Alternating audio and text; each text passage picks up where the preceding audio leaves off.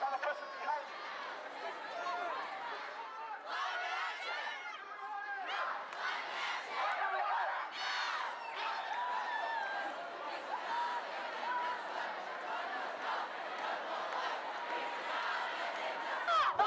you.